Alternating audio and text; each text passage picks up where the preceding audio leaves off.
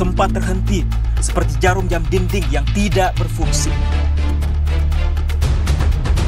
Ada mereka yang jatuh, ada mereka yang sakit, ada mereka yang kehilangan, ada mereka yang meninggalkan. Tidak satu, tidak dua, mereka pergi bergerombol dalam gelombang bernama kematian. Pandemi akan pergi seperti kabut yang hilang sebelum fajar. Asal kalian tidak membawa ego, bergerombol di sana sini, berhahaha mengabaikan yang diatur. Sungguh elok jika kalian peduli atas nama kemanusiaan. Pakai masker, harga mati. Gak pakai masker, bisa mati.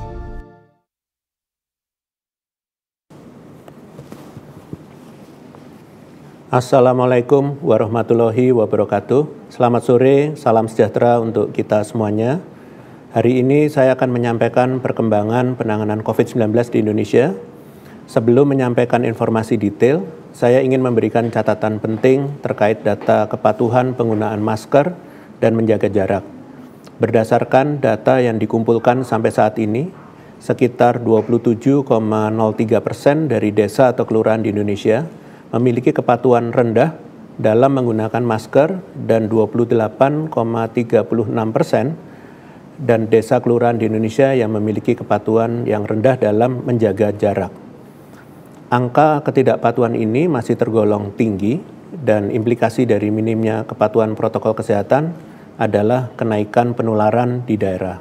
Maka dari itu, untuk meminimalisir penularan COVID-19 dan akselerasi penurunan kasus serta laju penularan, saya mohon agar semua pihak yang bertanggung jawab mengawasi jalannya protokol kesehatan untuk dapat lebih tegas menyikapi pelanggaran protokol kesehatan di daerahnya masing-masing. Untuk daerah dengan tingkat kepatuhan yang baik, terima kasih atas kerja kerasnya dan harap terus konsisten. Selanjutnya, saya akan menyampaikan perkembangan kematian akibat COVID-19 di Indonesia seperti yang kita ketahui selama dua minggu ke belakang, kematian di Indonesia bertambah lebih dari seribu setiap harinya. Bahkan pada tanggal 27 Juli lalu, kematian harian mencapai 2069 dalam satu hari. Jumlah kematian di bulan Juli ini menjadi bulan dengan kematian paling banyak selama pandemi di Indonesia. Hingga kemarin, total sebanyak 30.168 kematian tercatat di bulan ini.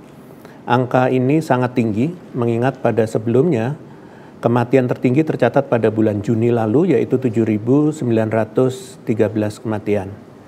Jika dilihat dari provinsi yang mengalami kenaikan kematian mingguan per tanggal 25 Juli lalu, ternyata 5 dari 10 provinsi berasal dari luar Jawa Bali. Meski Jawa Tengah, Jawa Timur, dan DKI masih menjadi penyumbang tertinggi kenaikan kematian, namun kita perlu waspada juga dengan Kalimantan Timur, Riau, Sulawesi Selatan, Kalimantan Tengah, dan Sumatera Selatan yang turut menjadi penyumbang tertinggi kenaikan kematian mingguan.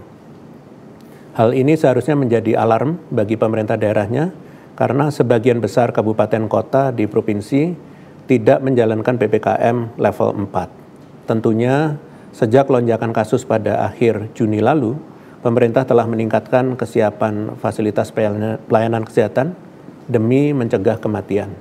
Adapun upaya tersebut antara lain penambahan tempat isolasi terpusat dan rumah sakit lapangan hingga total 868 tempat tidur di Banten, kemudian 17.594 tempat tidur di DKI, 4.310 tempat tidur di Jawa Barat, 6.089 tempat tidur di Jawa Tengah, dan 2.031 tempat tidur di daerah istimewa Yogyakarta, 7.339 tempat tidur di Jawa Timur, dan 1.001 tempat tidur di Bali. Pemberian bantuan ke rumah sakit berupa tenda serbaguna, toilet portable, velvet, dan selimut. Penambahan pasokan oksigen berupa lebih dari 1.000 ton oksigen dari hibah dalam dan luar negeri, pengelolaan truk armada untuk menyalurkan oksigen, dan penyaluran 3.825 oksigen konsentrator. Kemudian meningkatkan suplai obat-obatan di rumah sakit dan memberikan paket gratis obat untuk masyarakat yang sedang isolasi mandiri, serta rencana penambahan tenaga kesehatan dari perawat yang belum mengambil uji kompetensi dan dokter yang telah selesai internship. Namun masih terjadinya peningkatan kematian ini tentunya perlu untuk terus dievaluasi. Untuk itu penting dipahami bahwa kita semua dapat melakukan upaya terbaik untuk menekan angka kematian ini. Untuk pemerintah daerah, selalu pantau rumah sakit di wilayah masing-masing, antisipasi kenaikan kasus dengan memastikan ketersediaan oksigen, obat-obatan, tempat tidur, dan tenaga kesehatan yang bertugas. Hal ini dapat meningkatkan kecepatan dan ketepatan penanganan sehingga kematian dapat dihindari. Untuk masyarakat, jika berada dalam salah satu golongan ini, yaitu mengalami gejala sedang, berat, atau berusia di atas 45 tahun, atau memiliki komorbid, dan atau tidak memiliki tempat yang memadai untuk melakukan isolasi mandiri, kami mohon untuk tidak melakukan isolasi mandiri. Manfaatkanlah tempat isolasi terpusat yang telah disediakan pemerintah di wilayah Anda. Perawatan di tempat isolasi terpusat diawasi langsung oleh tenaga kesehatan dan dipantau baik tanda vital, gejala, pola makan, dan obat-obatannya, sehingga jika terjadi perburukan bisa langsung ditangani. Jika memutuskan untuk melakukan isolasi mandiri, pastikan Anda adalah pasien tanpa gejala atau gejala ringan, berusia kurang dari 45 tahun, tidak memiliki komorbid, dan memiliki tempat yang memadai sehingga bisa menghindari kontak dengan anggota keluarga lainnya yang tinggal serumah. Pastikan selama isolasi mandiri untuk makan makanan bergizi, minum obat, dan secara berkala mengecek temperatur dan saturasi oksigen. Dalam kesempatan ini saya menyampaikan turut bela sungkawa yang sedalam-sedalamnya untuk seluruh masyarakat yang kehilangan orang tua, sanak saudara, dan kerabat akibat COVID-19. Saya juga mengalami kehilangan kolega akibat COVID-19 dan merasakan duka yang mendalam. Saya doakan semoga yang pergi meninggalkan kita ditempatkan di tempat terbaik di sisi Tuhan yang Maha Esa. Salah satu yang berperan penting dalam penanganan pertama pada warga yang terkena COVID adalah perangkat RT atau RW.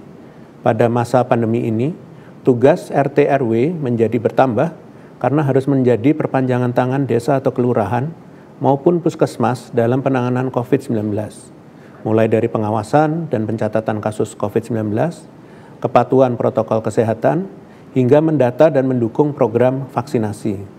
Tentunya peran RT RW perlu didukung oleh koordinasi yang baik dengan unsur lainnya.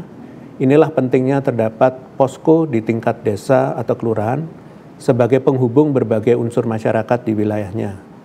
Dengan adanya posko, maka terdapat komandan atau pengendali dari penanganan COVID hingga tingkat RT RW dan kinerjanya terlaporkan dengan baik.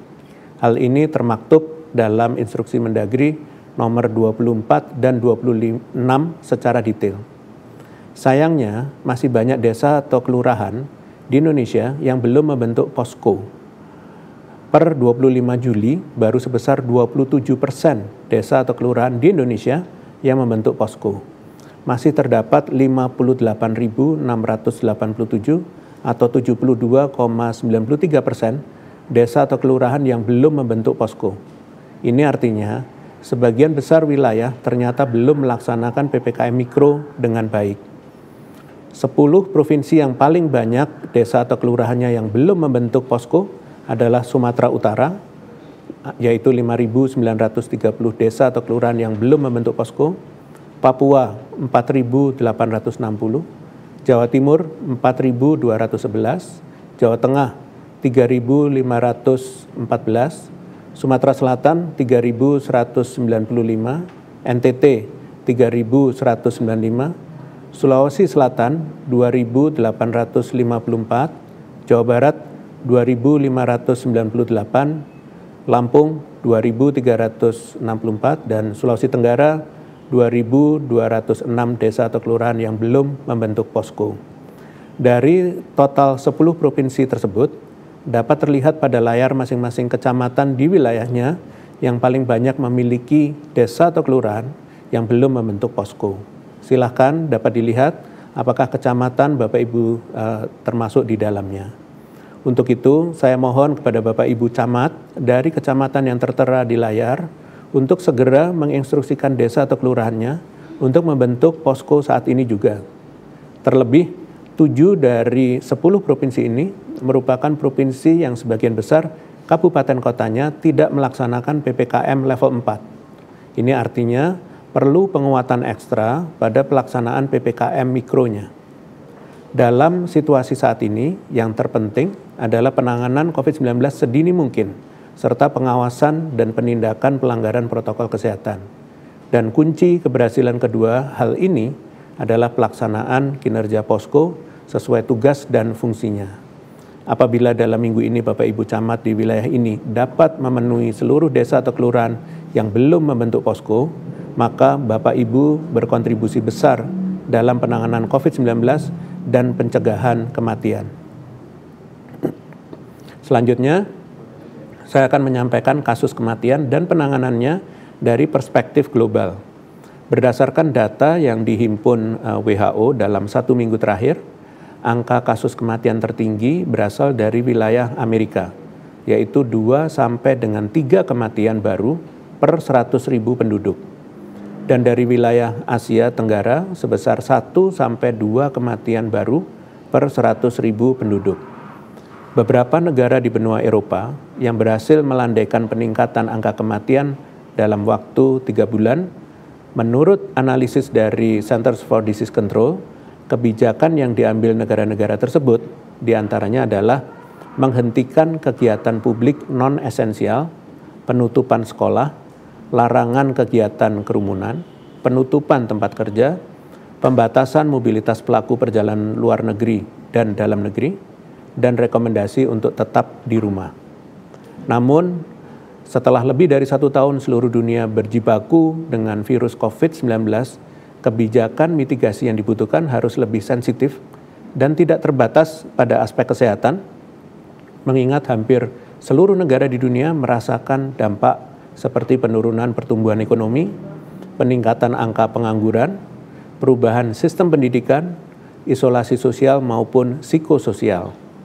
Saat ini, penerapan kebijakan di Indonesia sudah mencoba mewadahi semuanya, baik menerapkan kebijakan yang terbukti efektif mengendalikan kasus COVID-19, sekaligus tetap memperhatikan sektor sosial kemasyarakatan untuk dapat beroperasi secara terkendali melalui berbagai pertimbangan termasuk melihat karakteristik tiap daerah, maka PPKM menjadi kebijakan yang dipilih. Hal ini sejalan dengan hasil analisis yang dilakukan oleh World Bank tahun 2020 untuk 26 negara. Didapatkan hasil temuan bahwa kurva kematian lebih landai pada daerah berpendapatan menengah daripada daerah berpendapatan tinggi. Hal ini mengindikasikan bahwa faktor yang mempengaruhi kematian tidaklah tunggal. Oleh karenanya, diperlukan pendekatan kebijakan yang khas sesuai karakteristik masing-masing negara. Pada prinsipnya, jika upaya pencegahan untuk menekan angka kasus positif dilakukan dengan baik, maka akan berdampak pada penurunan angka kematian. Oleh karena itu, pemerintah berusaha dengan melakukan beberapa upaya di masa penerapan PPKM, di antaranya peningkatan testing dan tracing yang diutamakan bagi daerah yang memiliki tingkat mobilitas dan tingkat penularan yang tinggi, kemudian pembatasan pelaku perjalanan dalam negeri dengan pengetatan persyaratan, kemudian pelarangan WNA untuk masuk ke Indonesia dengan pengecualian dengan alasan khusus, kemudian percepatan vaksinasi bagi masyarakat dan booster vaksin untuk tenaga kesehatan, serta peningkatan jumlah fasilitas isolasi terpusat dan meningkatkan akses pelayanan kesehatan bagi masyarakat yang harus melakukan isolasi mandiri di rumah. Namun, kembali saya ingatkan, efektivitas suatu kebijakan hanya akan dirasakan melalui aplikasi yang baik dan kerjasama seluruh lapisan masyarakat. Saat ini, masyarakat memiliki peranan besar untuk mensukseskan kebijakan yang ada dengan cara berlaku jujur dalam melaporkan kasus dan suportif jika dilakukan penjaringan kontak erat. Yang kedua, mematuhi persyaratan perjalanan baik mengikuti prosedur yang sesuai dan memperlihatkan dokumen prasyarat melalui prosedur yang benar tanpa kecurangan. Berikutnya, mendukung dan proaktif mengikuti vaksinasi dengan syarat memenuhi seluruh persyaratan pra-vaksinasi dan dilakukan sesuai jadwal yang ditetapkan, serta memanfaatkan fasilitas isolasi terpusat terlebih dahulu demi prosedur isolasi yang terpantau dengan baik. Opsi isolasi mandiri di rumah dapat diambil sebagai jalan terakhir jika fasilitas isolasi terpusat tidak tersedia dan harus berada di bawah pengawasan puskesmas setempat. Sebagai penutup, saya ingin menyampaikan informasi uh, terkait kondisi terkini. Pemerintah berupaya untuk memastikan bantuan sosial yang disalurkan kepada masyarakat tepat sasaran dan tidak terjadi kecurangan. Hal ini dilakukan melalui tiga langkah strategis, yaitu melakukan sinkronisasi dan pemadanan data dengan nomor induk kependudukan atau NIK di Kementerian Dalam Negeri. Kedua, memperbaiki mekanisme penyaluran bantuan sosial.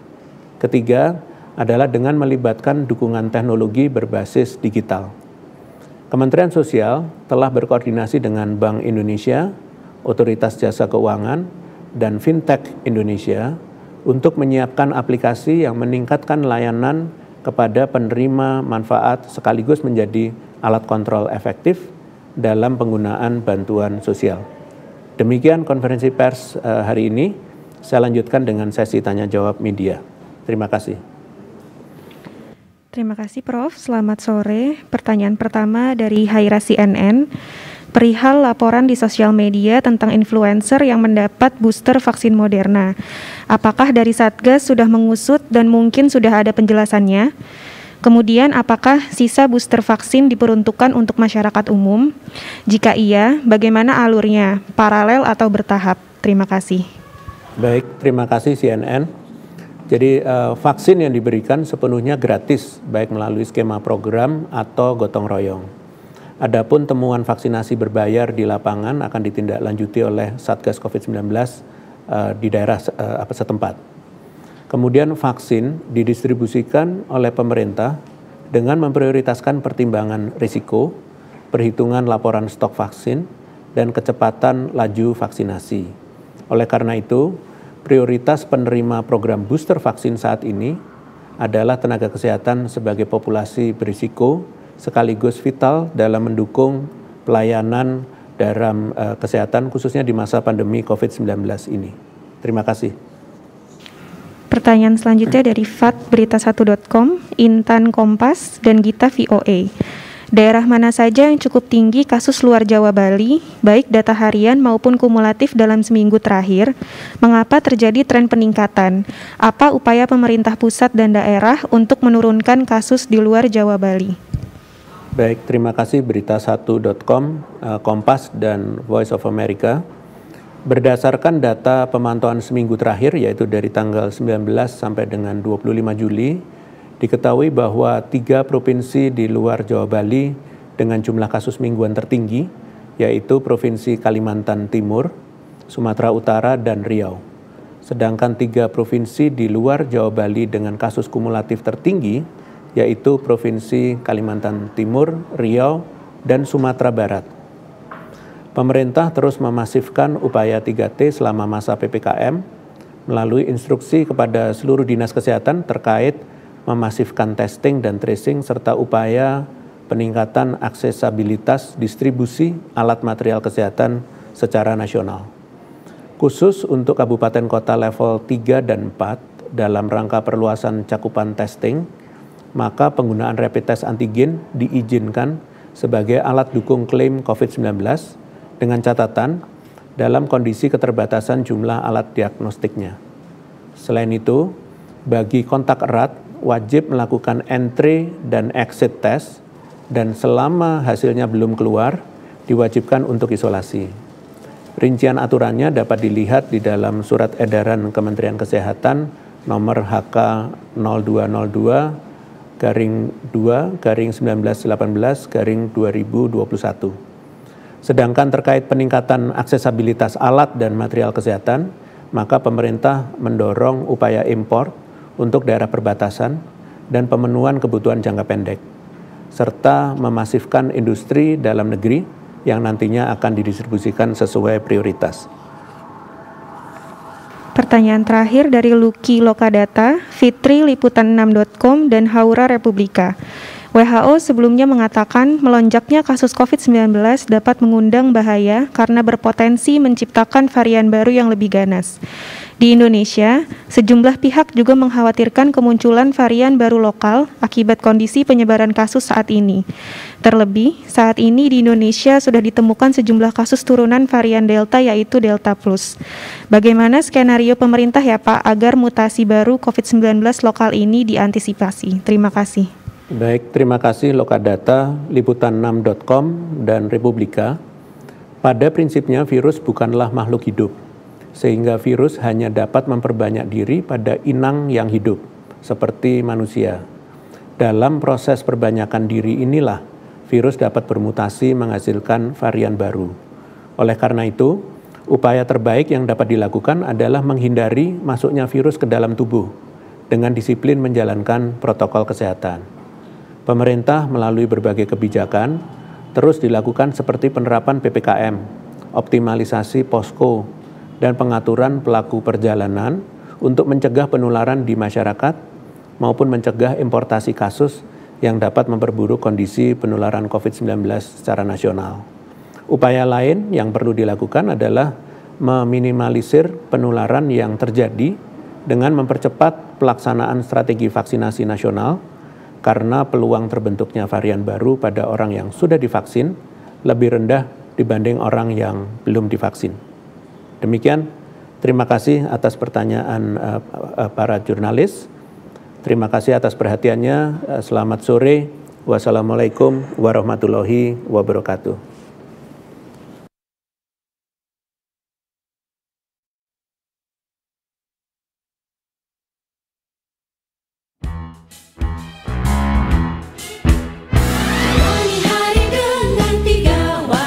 wajib iman wajib